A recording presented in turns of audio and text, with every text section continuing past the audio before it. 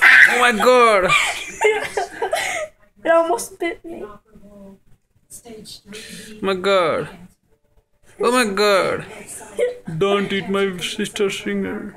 As soon as we got there, my level of fear subsided. What's unique about Cancer Treatment Centers of America Tulsa is our team of specialists in lung cancer treatment. Included in her comprehensive treatment approach was the ancillary services that we provide, naturopathy, mind-body medicine, and nutrition. I have to do what it takes to keep me breathing. If you or someone you love has complex stage They're fast. They could bite off my finger if they wanted to. You'll see how our lung cancer treatment results compare to national averages. You'll also see why Cancer Treatment Centers of America has a Your fish are weird. Well, I'd like to eat fingers, huh?